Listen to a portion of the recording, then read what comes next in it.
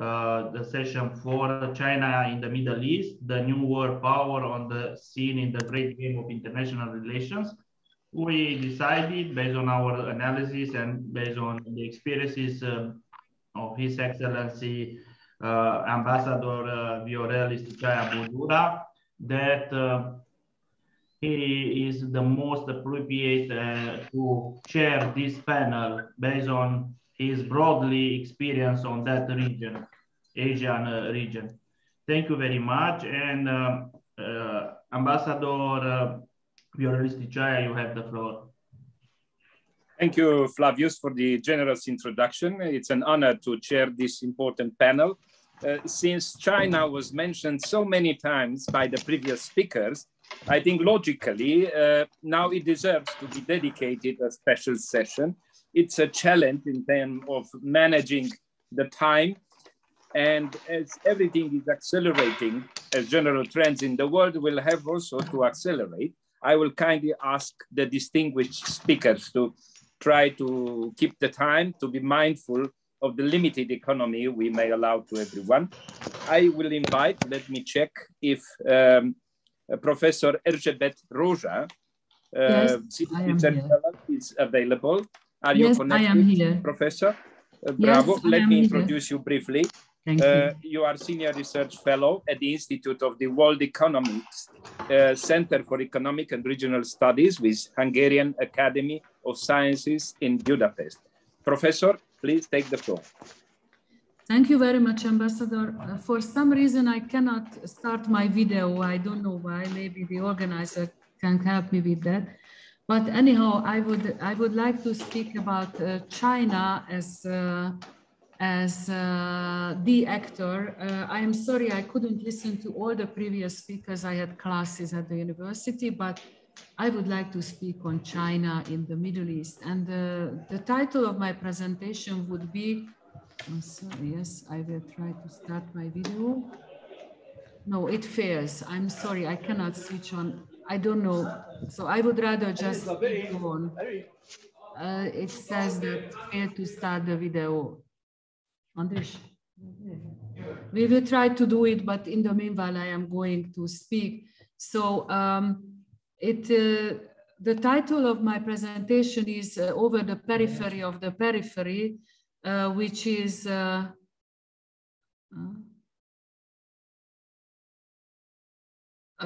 which is uh, trying to look at how China perceives the region. On the one hand, um, I claim that China is a newcomer to the region. On the other hand, I would like to claim that China's perception of the region, we cannot start the video. I'm sorry. I'm so sorry.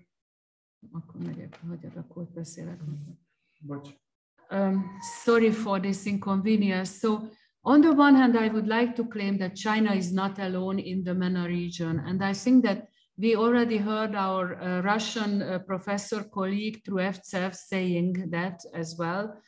Uh, on the other hand, uh, I would like to claim that although the MENA region, the Middle East and North Africa is a penetrated region, meaning that external actors have been present in the proceedings of the region, in the developments of the region, and they were behaving or they are behaving at sometimes as if they were parts of the region as well. This has a historic uh, dimension. Obviously, it started with the European colonization and the mandate system. Some speakers have already referred to that. It goes through the Cold War as well, the US Soviet Union competition in the region. And then in the Helsinki process in 1975, even the Europeans appear when in the final declaration, they have a separate subchapter addressing the Mediterranean and the concept of the Mediterranean as a geographical regional political unit appears for the first time. Now in the post-Cold War period, as it was said before, uh, a very strange situation evolves. On the one hand, at first, the United States has a unipolar moment, but that's a very short, it is really a moment. And then now we have the narrative coming from already the third president, if I'm not mistaken, the narrative of withdrawal, By the way, a very good piece was written on that by an American colleague, Dalia Dassa Kaye, just two days ago. Uh, it is a narrative, and although there is talk about withdrawal, in fact, as it has also been pointed out here, um, it is far from the reality, and the region does not let the US to go away. However, as uh, Professor Truevtsev also said, the region is not a priority for the external actors, not for the United States, not for Russia, and then maybe not even for China, although that may be changing. And the European Union is practically the only actor which has several reasons to be included, to be involved in the region. Russia is back after the Cold War, uh, after the end of the Cold War, with arms trade and civilian nuclear energy. And as uh, our Iranian colleagues and our Syrian colleague was referring to it, uh, practically we could say with low cost participation opportunities in different conflicts, meaning Syria and Libya. And then China arrives with a new, in a new aspect uh, with the Belt and Road Initiative. Now, if we, if we have a look at, uh, if we go further into the regional dimension, as it was also referred to here, China is not alone on the road from Asia to Europe or between Asia and Europe. There are other actors. Uh, I remember that I heard it in, uh, in, in Tehran uh, already 20 years ago. Who would believe it? It was so long ago. Uh, that uh, the Iranian foreign minister at the time was speaking about the Iranian concept of Asia as a carriage having four wheels. And uh, Professor Truevtsev also mentioned the four wheels, Russia, China, India, and obviously in the Iranian perception, it was Iran, which was the fourth wheel. However, we could, we could claim that West Asia in itself is a, is a microcosmos with several different actors Turkey, Iran, Saudi, or, or the Arab countries, um, the GCC, and so on.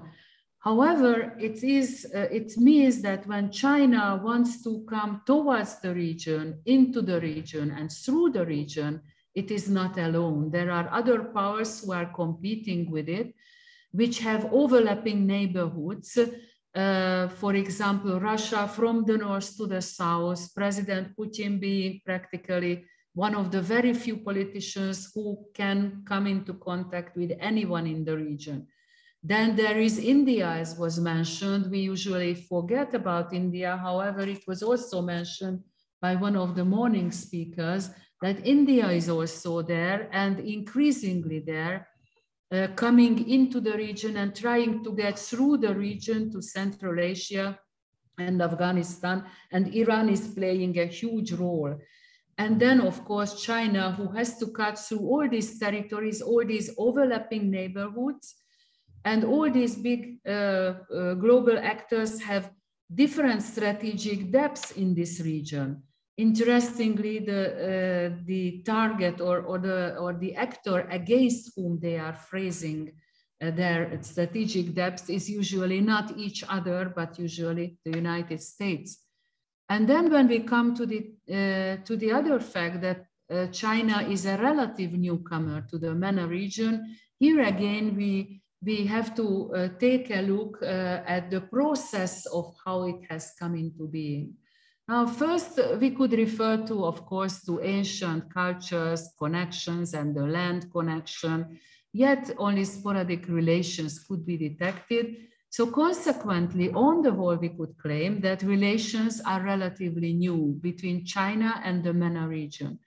And basically, we can start this uh, period uh, from the declaration of the People's Republic of China in 1949 and when we look at the development of China's, Chinese relations towards the MENA region, we can find that the, the development goes practically hand in hand with the development uh, that are taking place within China.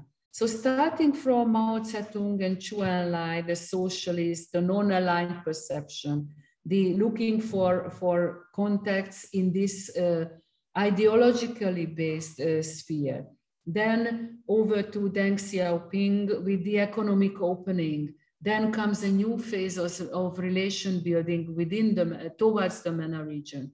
Then Xi Jinping, who brings in a more assertive Chinese foreign and security policy. No wonder that it is under Xi that the Belt and Road Initiative is coming forward. Yet, while this is happening, we also have to bear in mind that all this happens through and uh, in the framework of the traditional worldview of China, the concentric circles. Of course, these concentric circles have expanded and they have taken on different uh, dimensions uh, all through the years and decades that China is contacting the other parts of the world. However, we could still claim that the MENA region is still the western periphery of the western periphery. Now the Belt and Road, the Belt and Road is a new development and in the longer run, it has started to change things, but in the longer run, most probably it will bring along even bigger changes. But in order to do that, we have to also look at the strategic shifts. I already mentioned, and President Obama was already mentioned, with the US pivot to Asia. I could also add to that, uh, several European countries were speaking about Eastern opening.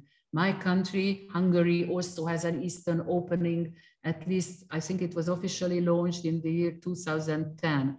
But I also remember that uh, an Iranian friend of mine has written a book about the Iranian Eastern opening already in the early 2000s.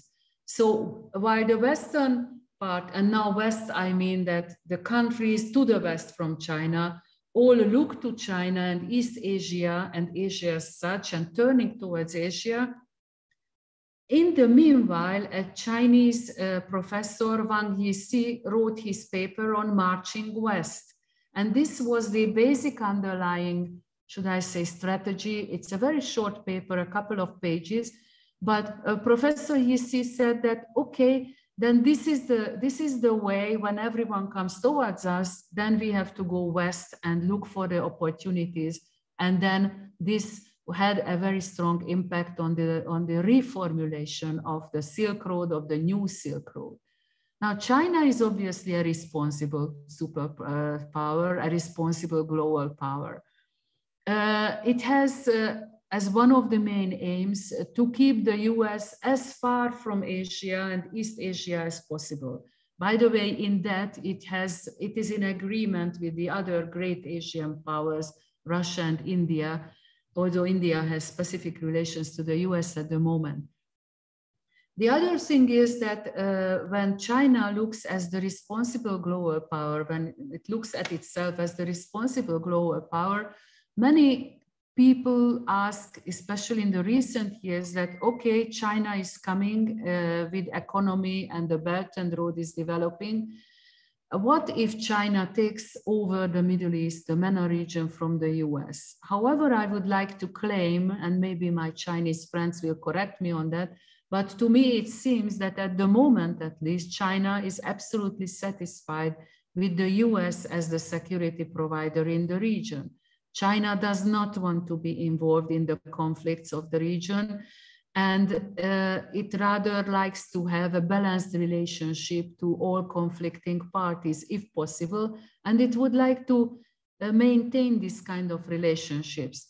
And on the other hand it serves chinese interests very well if the us is tied down in these conflicts and being a security provider in the region of course the question is how long uh, this can be maintained but at the moment this seems to be uh, one of the main uh, issues for China in the region. And another very important aspect of Chinese relations to, uh, to the MENA region is that China still does not perceive the MENA region as one unit. China has bilateral relations instead.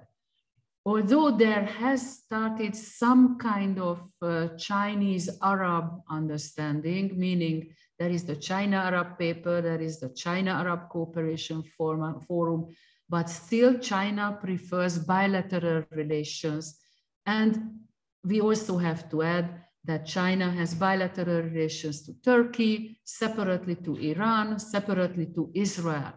So what China has developed towards in the Middle East and towards the countries of the Middle East should rather be said as a hierarchical set of partnerships. And the Belt and Road Initiative serves as a very good uh, form, a very good format for that. Sorry. Oh, okay. Uh, Professor Rózsa, would you be prepared to conclude as soon as possible? In two minutes. Yes, please go ahead. So, okay, so within this hierarchical set of partnerships, uh, bilateral partnerships, China has comprehensive strategic partnerships. These are the highest grade in the MENA region with only five countries. Algeria, going back to old times, to the non-aligned times, Egypt, again to the non-aligned times, Saudi Arabia, the UAE, and Iran. Then there are the lesser level of strategic partnerships. With Israel, it has a one case partnership, the comprehensive innovative partnership. Plus there are the potential partnerships. And then just uh, one more. Um, so what could be the balance? And I would finish with that. What could be the balance of the Belt and Road if we look at the programs and projects now in the MENA region? It could be positive and it could be negative and with a lot of question marks. Positive, usually where labor force is rare or limited, uh, because in the Belt and Road Initiative, Chinese capital, Chinese loan, Chinese material, Chinese labor. So the acceptance can be ambivalent, but where there is no labor force, where labor force is rare, where it should be imported, like in the Persian Gulf countries, there the balance is positive. Uh, where is negative? Well, uh, in cases where unemployment is very high, where local people cannot be employed because Chinese labor is brought in, where there are different problematic issues over different projects. So we will have to wait and see how the Belt and Road will evolve, what impact China will be able to make on the and if China will have enough soft power to support that. And here in soft power, I also include the Health Silk Road and the, and the vaccine diplomacy. Thank you so much for listening to me. Thank you. Thank you, Professor, for the well-documented, but still very balanced views, which completed the image in analyze, uh, analyzing the image and presence of China in the Middle East. I would check if the next distinguished speaker, Dr. Khalil Shirgholami, is there and can connect with us and make his intervention.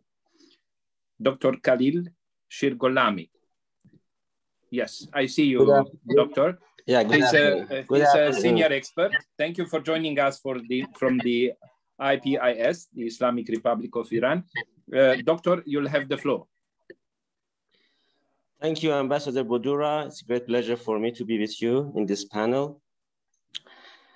Uh, I'd like to challenge uh, the notion in the introduction note of this panel uh, that China is on the scene of great game of international relations in the Middle East and the Persian Gulf, and to verify if this perception is realistic or not.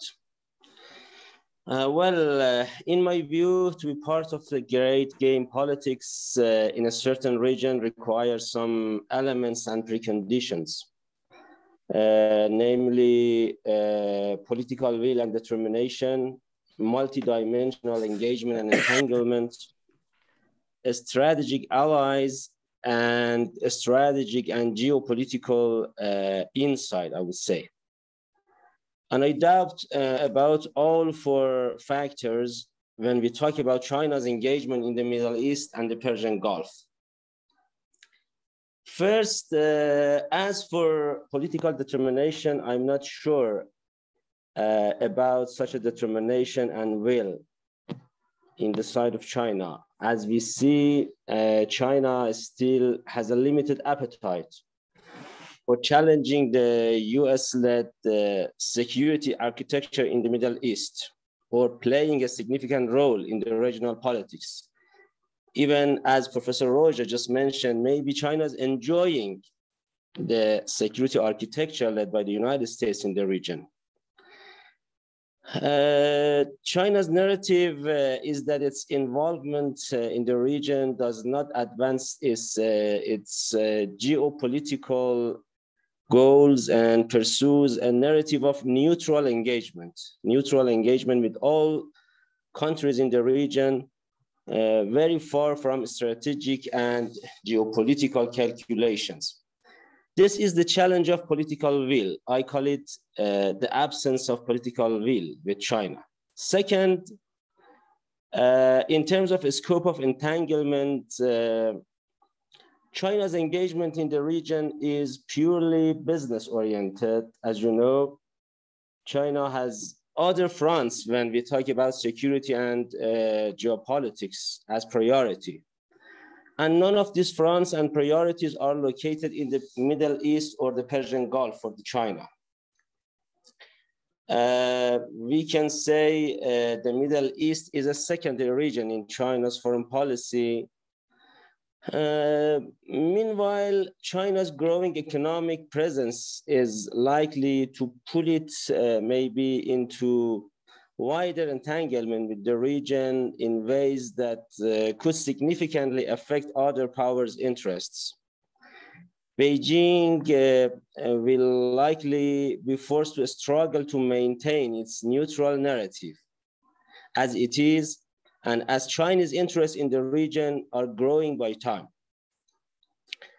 Furthermore, uh, while the Middle East is peripheral in China's foreign and security policy, with the possible US effort in future uh, to disrupt the China interest in the region, including uh, free flow of energy, this region will be upgraded into critical national interest for China.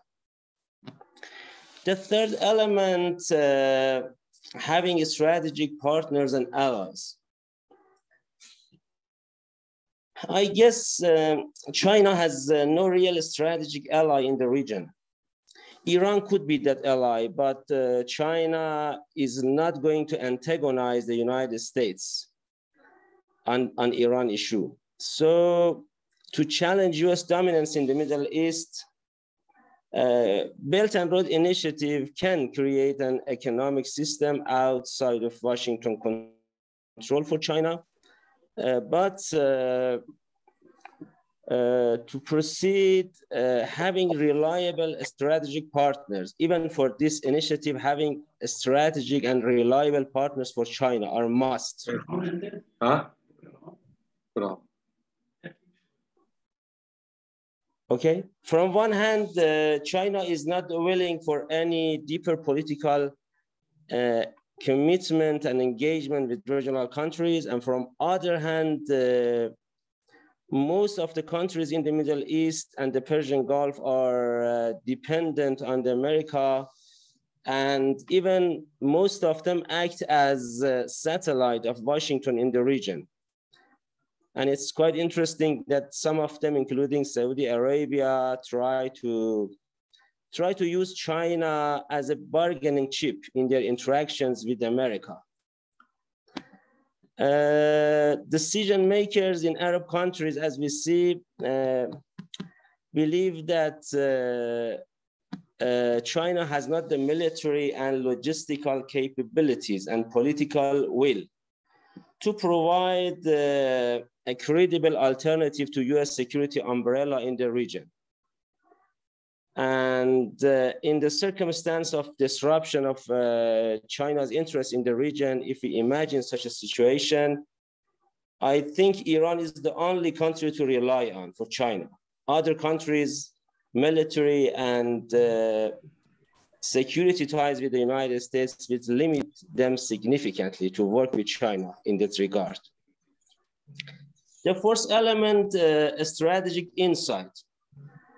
Uh, as we know, uh, China has focused on building economic exchanges with region and always avoided taking sides in regional conflicts, as was mentioned by our colleague.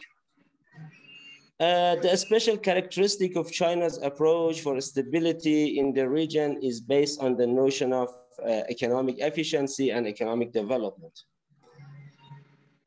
Uh, if China is willing to play power politics game, the looming great power, this will have some requirements and first of all to have a strategic insight. This is quite important, I guess.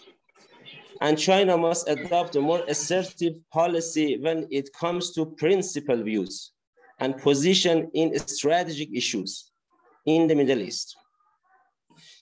Well, altogether, and considering all these uh, four factors, I'm not very confident that uh, China is willing to be uh, part of a great power games in the region, in the Middle East. At least we don't see any sign for further entanglement of China in the region.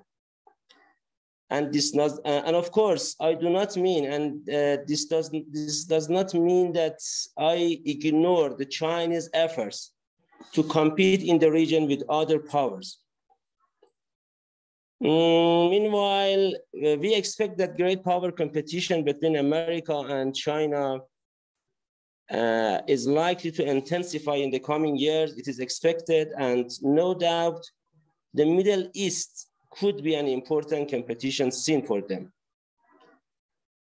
Uh, for me, uh, when I talk about China's presence in the region, what's important is that unlike the United States, the China's approach toward the region is not based uh, on the Cold War mentality of uh, zero-sum game and hegemonic dominance. So maybe China can play as a balancer and game changer in the region if determined to do so. And I believe still China is not determined to do. Well, uh, to conclude, uh, Graham Allison in his book uh, in 2017 asked, can America and China escape Thucydides' trap? I want to add, if the world, including the Middle East, can escape the implications of possible US-China confrontation in the Middle East in future, if there is any. And in any case, uh, the potential US-China rivalry or confrontation in the Middle East shall not disturb the peace and stability in this difficult region and generate more turbulence there. And for this, I believe that uh, multi-centric distribution of power and empowering regional states themselves based on cooperative peace, based on the notion of cooperative peace could be the solution. Thank you so much. I end here. Thank you for keeping up with the time, respecting so much that request. And also thank you for offering us a good deal of food for thought. Thank you so much. I'll go next to uh, Dr. Li Zixin from China. Uh, are you there, Dr. Li? Excuse me, I'm, I'm sorry for my colleague because he has some technical problems. So I'll, I will speak for him. He give his, okay. script to me. Yao, okay. Yao we, we welcome yes, you to yes. replace Mr. Li. Yes, uh, you Yao can speak very fluent Chinese. Yes. I see. You are from okay. the same institute, yeah? Yeah. China Institute of International Studies. Yes, yes. Affiliated and, with the Ministry uh, of Foreign Affairs? Uh -huh. affiliated yes. with the Ministry of Foreign Affairs? Yes, Chinese MOFA. Okay, yes. Then, uh, okay. please go ahead. Okay, uh, uh, I think China is a hot topic right now. Uh, before I, I, I read I read my colleagues' uh, script, I will say some um, my own opinions about China's role in the Middle East. Uh, first, I think China did not want to get into a strategic competition uh, to, to US, to America. I think it's a priority for, from China's point of view. Uh, and second, I think China want to get in the Middle East, but did not want to be trapped in the Middle East or in Afghanistan. And the uh, third one, I think uh, China will stick to its non-intervene principle and don't want to get into the domestic politics in the Middle East states. And fourth, uh, some people send a message to me about uh, the Afghanistan issue. I think for, uh, for Afghanistan issue, uh, China's uh, concerns, uh, first one is stability in our west land, especially the Xinjiang province. Uh, I have I come to Xinjiang for several times. I, I see it from my own eyes that it changed from safe to dangerous and then to safe. I know how Afghan, Afghanistan's behaviors in, influence Xinjiang's uh, safe in this decade. And uh, the, the second is uh, China is not the only country to have connections with uh, Afghanistan Taliban in these months. I think many countries will uh, have uh, will contact with, with, with, Taliban and have some uh, some relations with him. And I think uh, China did not own, did not assist Taliban. China also want to persuade Taliban to be a, a moderate a, a moderate power in Afghanistan.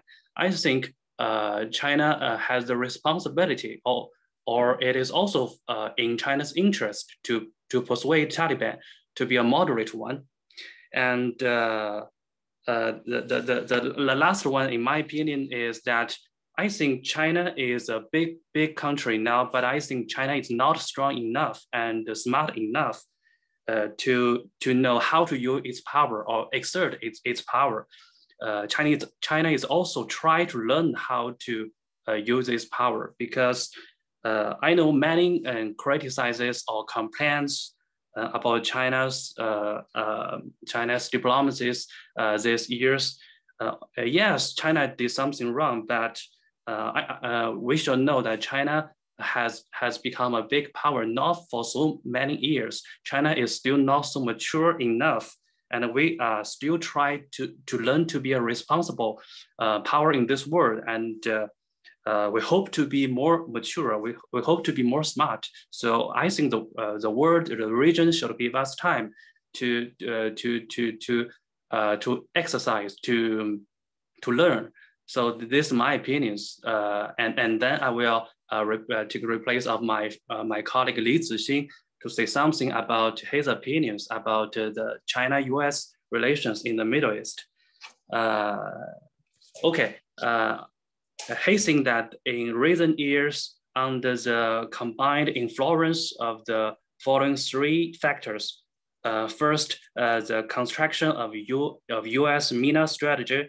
Second, China's expanding influence in the Middle East. And third, tensions become uh, China and the US.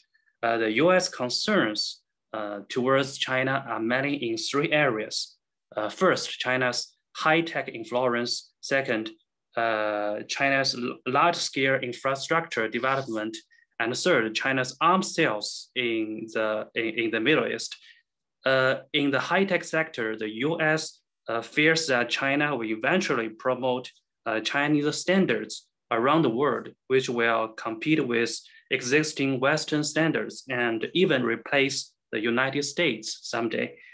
Uh, based on the imagined Chinese threat, the US states began to complain about uh, China's co cooperation with the regional uh, countries. However, in the face of US uh, provocations, China has neither confronted nor undermined US MENA policy nor has it asked regional countries to choose a side between China and the US.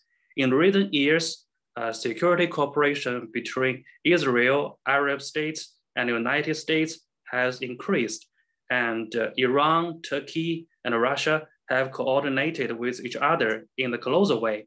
China uh, maintained good relations with uh, parties in both camps with closer economic ties to the United States and uh, stronger political ties to Russia.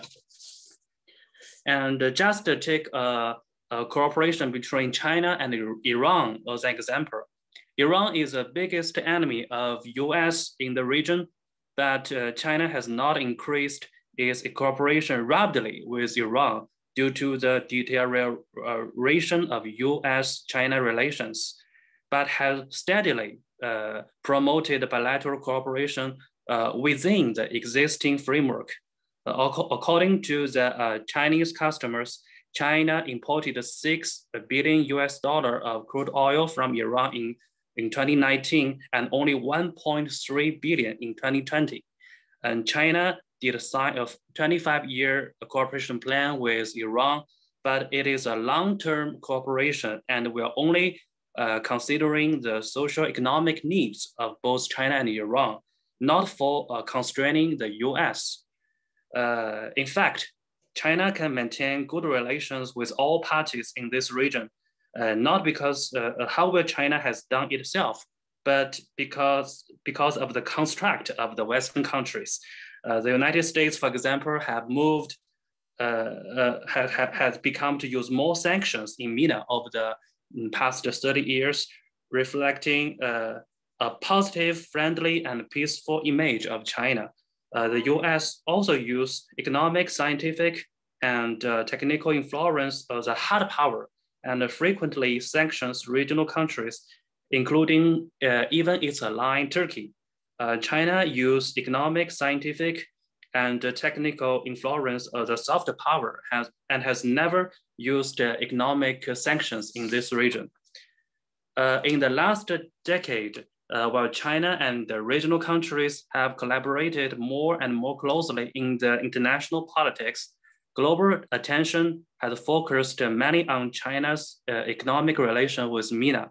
The rapid economic development of China and the regional countries is a fact, uh, but, uh, uh, but it is also some imagination or exaggeration and misinformation uh, of international public opinion.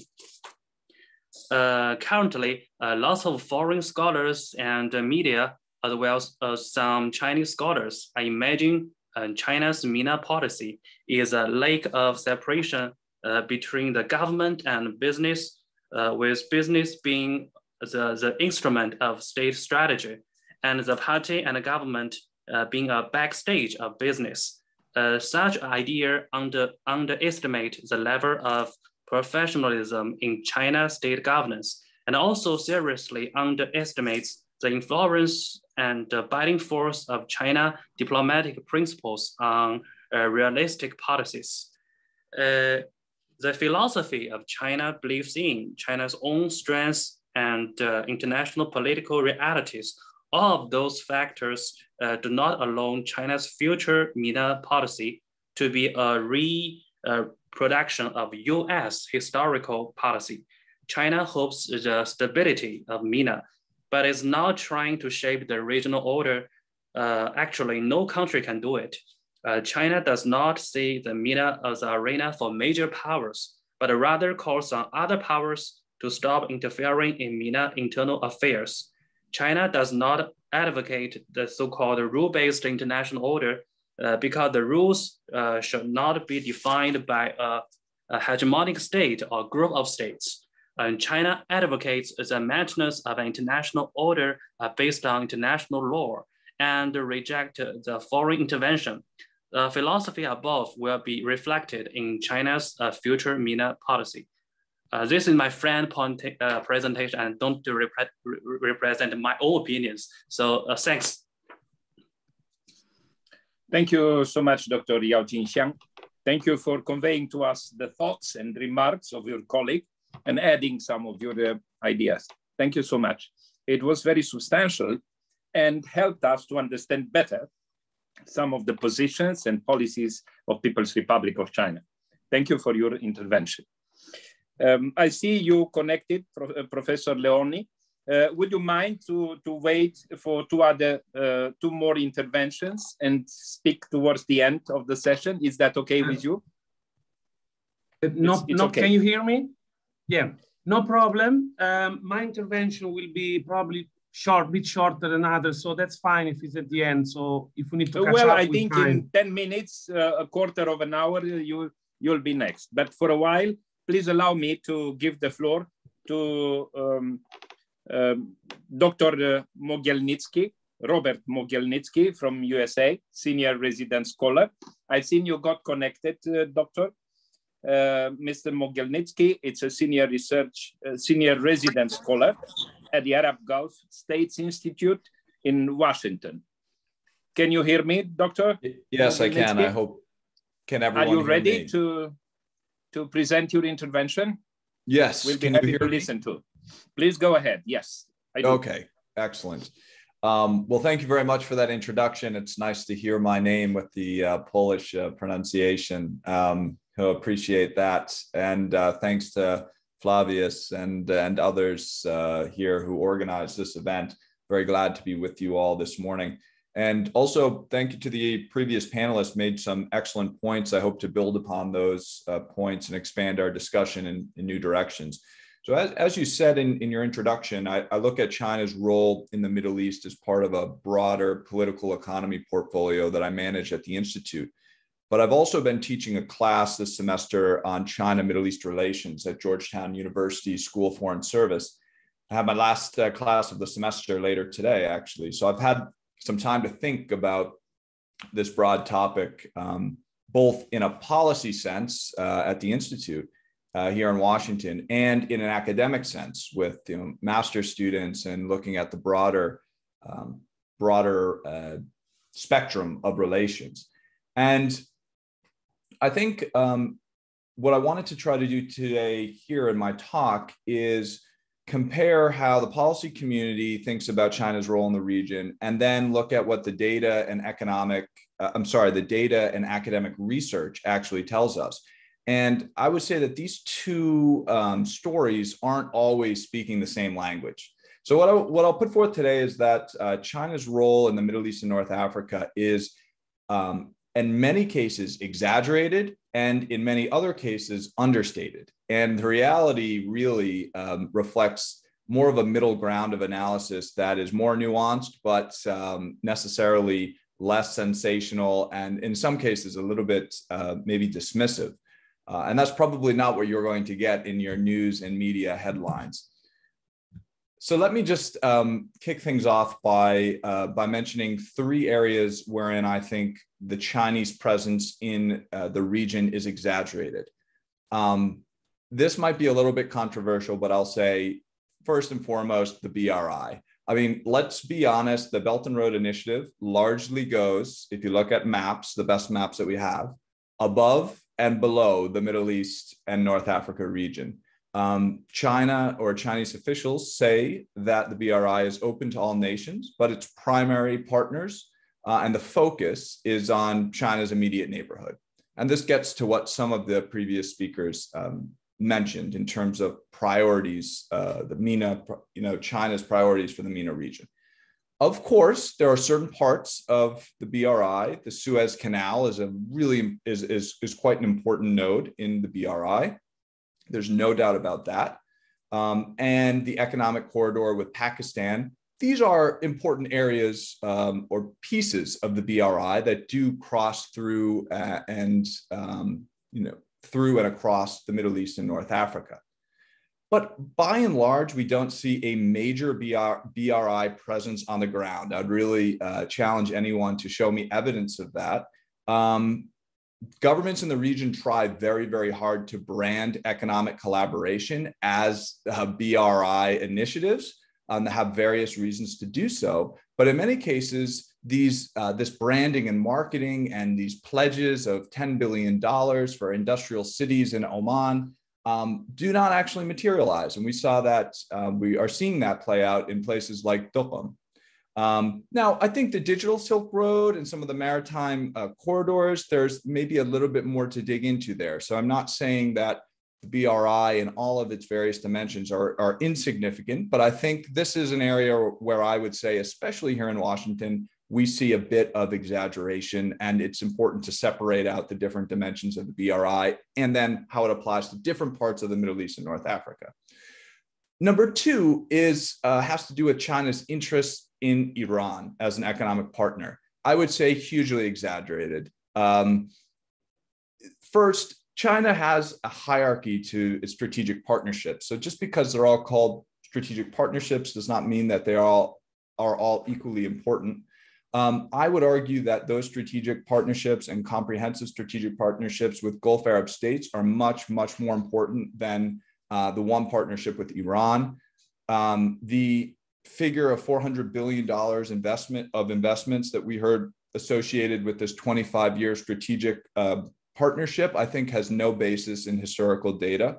over the last several years, confirmed Chinese investments from rep- reputable trackers have suggested that Chinese investments across the entire Middle East and North Africa region have totaled somewhere between 200 and 300 billion dollars. So there's absolutely no way that 400 billion dollar investment figure um, would be reached. I think a lot of people have been critical of the claims made uh, around uh, this kind of China Iran economic cooperation. Um, there's something there, but it's certainly not as large of a balloon as um, um, as as it has been made out to be in, in much of the media, uh, in, especially in, in a lot of uh, Western media. Uh, third, I would say that, uh, and some of the previous panelists mentioned this, that China wants to play the role of a security uh, guarantor in the Middle East. I don't think there's much evidence of this. Uh, China's done a much better job um, seeking areas wherein it has a comparative advantage rather than seeking to directly compete in spaces long dominated or held by US or other, other powers. Of course, energy security is an important consideration for, um, for, for, for China, but it seems like regional powers at the moment, uh, Saudi Arabia, the UAE, Iran, are talking more, um, are taking more responsibility on a regional level for holding dialogues and creating, trying to create security frameworks, trying to reduce tensions um, and conflicts in the region. And I think the Chinese are much more likely to support these forms of initiatives rather than seek to replace the US as um, a security uh, guarantor. So that's where I think some of some of the areas where we see an exaggeration of China's presence in the MENA region. What about in the other direction where China's presence is understated? Well, first, uh, there are a lot of people here in Washington who try to say that China is not or make the argument that China is not as important of an economic actor as, as we think. And they cite low investment levels, unfulfilled investment uh, pledges, and low levels of job creation in the region. And the argument follows then that US and European partnerships are going to be much more influential over the long run. But if we think in terms of especially the Gulf Arab region, uh, those oil and gas producing states, this view or the argument that I laid out doesn't really give us the full picture because we can't just stop our analysis with the recognition that China, um, you know, purchases is purchases a, a, lot of hydrocarbon commodities and that's it. They're not necessarily great investment partners. Uh, why? Because um, we, we have to remember these governments are still largely reliant on the proceeds from oil and gas revenues. Uh, they fund usually more than 70% of public sector uh, budgets. And we know in this region that the public sector is the main driver of economic activity. It employs most of the citizens, um, provides subsidies for the country, provides the incentives and all of the good kind of exemptions that attract private sector business. So without those proceeds from the oil and gas sector, the majority of, so without government proceeds, the majority of which come from the oil and gas sector, of which China is the most important driver of, uh, of hydrocarbon commodities. Um, we don't have this whole system, the economic system, uh, working the way that we we understand it to work. So I would say, I wrote a piece for the, about this in the World Politics Review. But in short, that China's economic influence is um, much deeper in an indirect sense. So you can't just look at the headline figures. You have to look deeply at the indirect economic influence that China has um, in, in this region. Uh, two, and the briefly, I'll just end after two very, very other brief, brief points. Um, I, I, believe the key sectors and industries earmarked for development across the region, and I do focus mostly on the GCC region, so apologies, it's time constraints would prevent me from looking at the broader region anyways. But um, the areas that are earmarked as high priority for economic diversification and kind of future proofing these uh, economies are areas that China has a, a really a, a, comparative advantage in, or at least significant expertise um, to uh, to leverage. I'm speaking here about renewables, um, uh, technology services and you know tourism and luxury tourism. All of these uh, these areas just to name a few um, are high priority areas uh, especially in the gulf but across the broader region. And i think it you know the continued development of these sectors and industries will permit chinese firms and consumers to play a large role in the region's economy for years to come. Finally the I mentioned the digital Silk Road.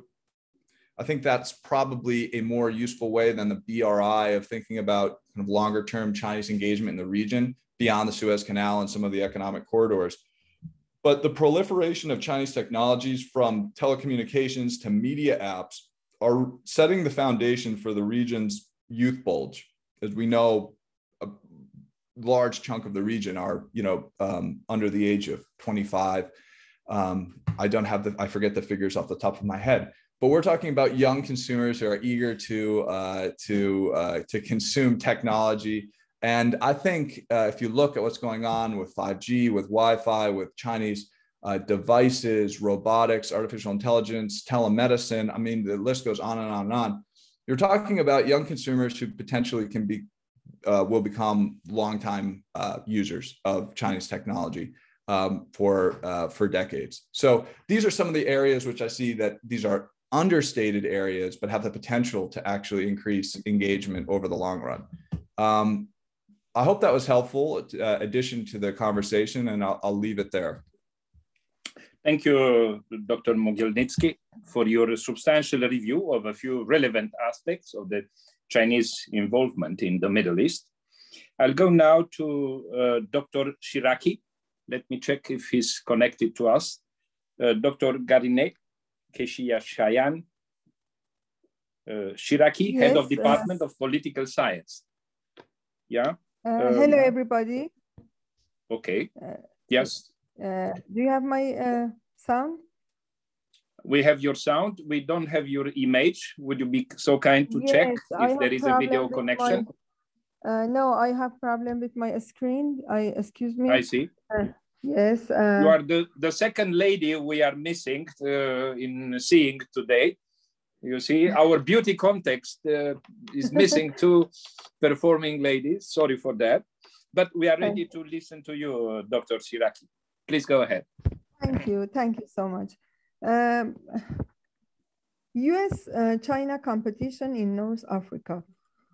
Um, China's One Belt, One Road uh, initiative introduced by President um, Xi Jinping during his visits to Central uh, and um, Central and Southeast Asia in late uh, 2013 has rapidly gained momentum with its uh, potential impact on trade and um, investment in Africa uh, increasingly apparent.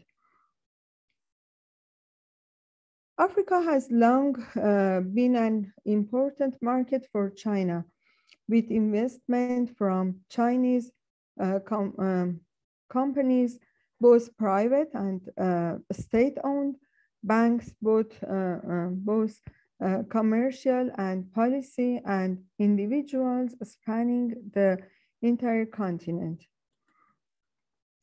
Moreover, the strength uh, and depth of this broad economic and trading relationship continues to grow.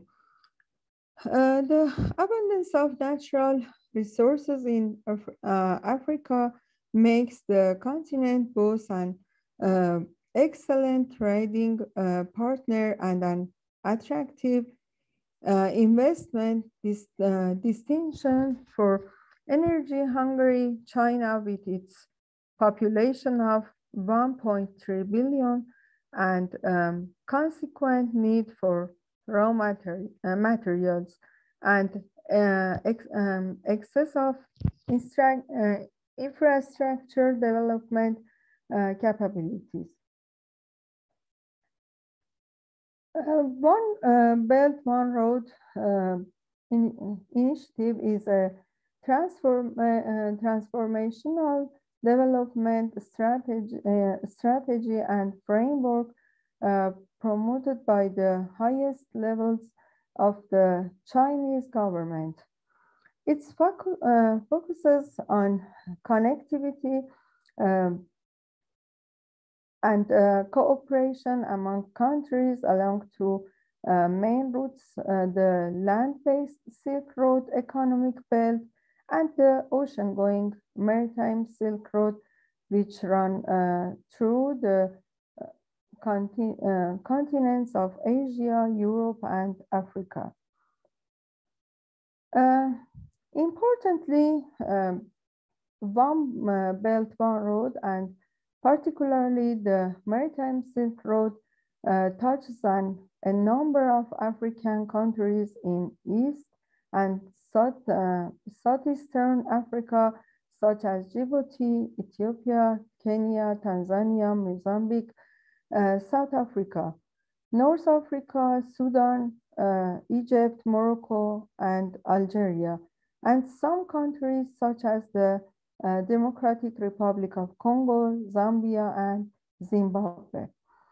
Uh, the broad strategy for, uh, for the initiative is uh, set out in, its framework document, visions and uh, actions on jointly building Silk Road economic belt and 21st uh, century maritime Silk Road, issued in March um, 2015 by Chinese National Development and Reform Commission's Ministry of Foreign Affairs and Ministry of Commerce, it uh, states that One Belt, One Road initiative aims to promote the connectivity of Asian, European, and African countries and their adjacencies, uh, establish and strengthen uh, party, um, um, partnership among the countries along the Belt and Road set up all the dimensional, military,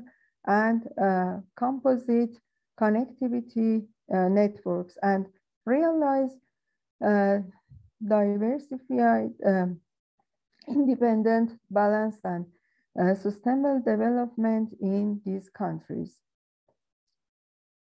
Uh, key sectors of uh, One Belt One Road include energy and power, infrastructure projects, public utilities, uh, construction, transport, and logistics, technology, media, uh, telecoms, and information technology, uh, financial markets. Uh, key focuses for um, this uh, pro program, um, One Belt, One Road underlines Chinese push to, to take a larger role in global affairs and its need to export capacity in industrial where, where there is uh, overproduction such as steel manufacturing and uh, infrastructure construction.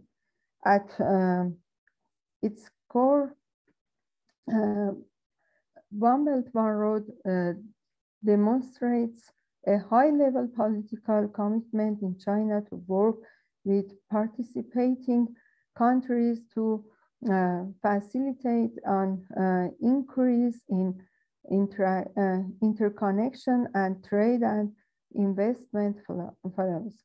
Um, OBOR is focused or uh, reducing barriers to trade, both uh, materials such as uh, in a, uh, adipate port, uh, rail or and road uh, infrastructure and less tangible uh, such as um, enhancing trade, liberalization and easing customs and coercions process. Um, More than two minutes. Thank you so much. Yes, yes. But um, every these points, uh, total Chinese economic, political, and military activities in Africa uh, builds US-Chinese competition in North Africa, Chinese uh, full presence on the African uh, continent has caused uh, concern in the United States, and this has become a serious uh, rivalry between the two continents on the countries on the continents. Uh, on the other side of the world, surveys uh, show that uh, Democrats and Republicans have not taken a different approach to Africa and that the African region as a whole uh, has never had as significant and strategic aspect for Washington as East Asia or the Middle East. Um, in the past two decades, uh, China, uh, China has, despite the expansion of the US military uh, presence in Africa, there is also the fact that US uh, trade in Africa has uh, declined in recent years and uh, bilateral trade has declined from $100 billion in 2008 to $39 billion in 2017. The lack of a realistic American strategy for Africa was a golden opportunity to Beijing, and China is now a major uh, player in uh, um, Africa's economy, politics, and security. Uh, and I think, um, yes, yes, uh, political and military rivalry on the one hand and Chinese effort the implement uh, One Belt, One Road economic plan has turned the African continent, uh, especially the North, into a region of serious rivalry between China and the United States. Thank you for, uh, for your attention. Thank you, uh, Dr. Shiraki, for your contribution. Uh, next, uh, Professor Leoni. Uh, thank you so much, Professor, for uh, bearing with us. Sorry to keep you waiting. Um, as I see, Professor Zeno Leoni, lecturer in War Studies at Defense Studies Department, Defense Academy uh, in UK, uh, affiliate Lau China Institute, King's College in the United Kingdom. Professor, you may have the floor. Thank you very much and thank for the kind invitation. And it was a pleasure to uh, sit here and listen to uh, the other colleagues. And speaking of which, I think there are there's quite a lot of agreement uh, between our slightly different views. So I um, I think I'll keep it I'll keep it brief, also conscious of the time. And I thought this might have been an opportunity for me to infer just a few points from a chapter that I that I wrote, but it hasn't been published yet. It's forthcoming with uh, the Routledge Handbook of China-MENA uh, Relations in 2022, edited by Yahia Zoubir. So there's a chapter of mine in there um, looking at U.S.-China um, relations or uh, competition or lack of competition, as we'll see, perhaps, um, in the Middle East um, uh, in the Gulf and the broader uh, MENA region. Um, so uh, my takeaway point from, from that chapter, as it has kind of been alluded to somehow already, is that I think that at the moment the US and China, excuse me, have a uh, have found, perhaps involuntarily, a sort of modus uh, vivendi in the region, a sort of uh, balance.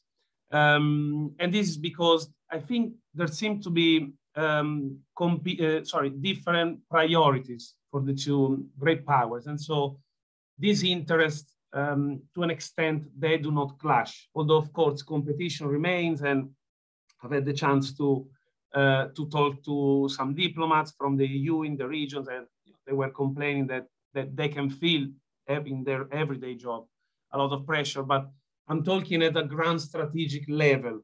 Okay, so I think there's there's a there's a balance, there's a there's an equilibrium, and and due to to different interests, different priorities. So on the one hand, we have the United States, who is uh, increasingly focused on uh, on the Indo-Pacific. I'm sure this has been discussed earlier in in the morning, and which for the time being wants to maintain a um, offshore balancing posture in the MENA region. And this this has lasted since really since uh, Obama and through the Trump administration. So with Obama, we saw, um, we heard Obama saying things like, uh, you know, more people die in a bathtub uh, compared to, rather than because of terrorism. And then we saw Trump in his first trip abroad to uh, Saudi Arabia um, uh, saying we don't want to, uh, you know, we are we want to approach the Middle East with a realist, realist perspective, Uh, we don't want to come here and give lectures to other countries, our countries, which was probably a reference to uh, the Bush uh, administration uh, foreign policy in the Middle East. And then again, I mean, there is a lot of, I think there is a lot of strategic continuity with some tactical changes between the different presidents, especially between Obama and Trump in the region. I think with Biden, we're kind of going back to Obama to an extent.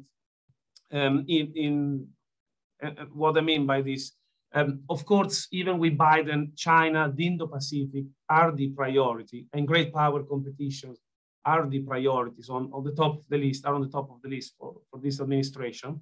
But obviously, to for the US to focus on the Indo-Pacific region, it is um, essential that, that in the Middle East, there is at least a degree of stability, because that's what I guess that's the interest of the United States, the ground strategic interest in the MENA region nowadays is stability. It's not anymore about uh, controlling or uh, uh, for, for, a for a national interest, from a national interest point of view. It's more about guaranteeing stability to, to the global economy, which is ultimately beneficial to, to the United States.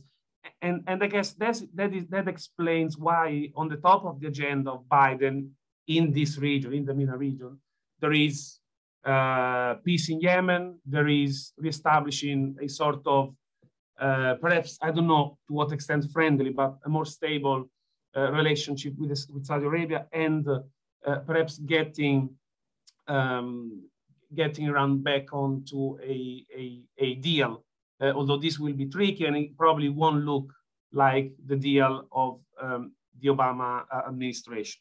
So these are the priority of the US, and this tells us that the US interest in the region has been declining to an extent.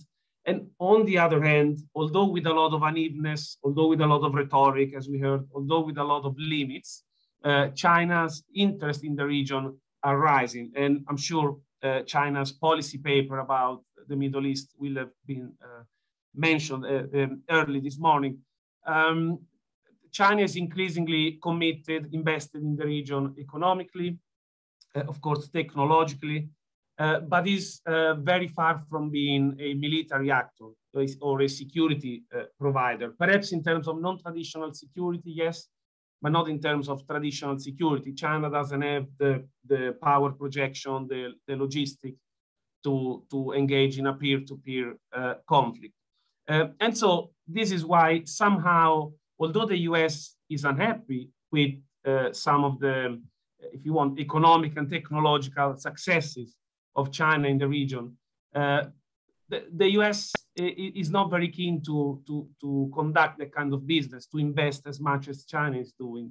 And on the other hand, China is unable to provide the kind of military security that the US is providing. So that's what I'm what I mean when I'm saying there's a modus vivendi. So there seems to be they seem to tolerate um, uh, each other, and so the U.S. declines, China rises, uh, of course, at some point, this balance will be disrupted, will be broken, but I don't see that for the foreseeable future. And I think it, this balance might be challenged at some point if China was to uh, begin to think about formal military alliances in the region, which will improve the logis military logistics of China, or if China, when China was to, uh, when China will have a proper sort of Mahanian kind of deep water navy. China is working towards that, but I think it's still very much uh, behind. And in addition, China don't have an interest in doing that, in, in dominating in the region for, for all the reasons that have been uh, mentioned uh, so far. And so, yes, my uh, I think I, would like to, uh, to, to close my, my speech here. Um, what we see in the Middle East, again, as we heard from one of the colleagues, is that there's a transition perhaps to, towards more towards multipolarity as we've seen it in the uh, more in general in the liberal international order, in the world order. Uh, and it's not just about the US and China, there's Turkey, the Iran, uh, Saudi Arabia spending a lot of uh, money on defense lately. Uh, so I wonder whether um, this, this will be perhaps provocative for, from, for, for, for an American audience, but we've seen Trump uh, complaining a few years ago about the fact that other powers are not doing enough to guarantee the security of, of the sea lanes that go that travel through the regions. I wonder whether at what point we'll start to see, and if you know, if it might be wise uh, for both the US and China to start to think more in terms of cooperation from that point of view in order to in order to share the burden. Of course, there are pros and cons from both an American and uh, Chinese uh, point of view, but I wonder whether this uh, will happen in, in, in the coming year, um, especially because I think we are in a new Cold War and in many areas there is a lot of competition, but at the moment in this area, this might be one of the few areas where the two great powers might cooperate. And I shall stop here. Thank you. Thank you, Professor Leoni. Thank you for sharing with us that appeal for sharing the burden, even in making questions and seeking answers. That's uh, a way of sharing burden.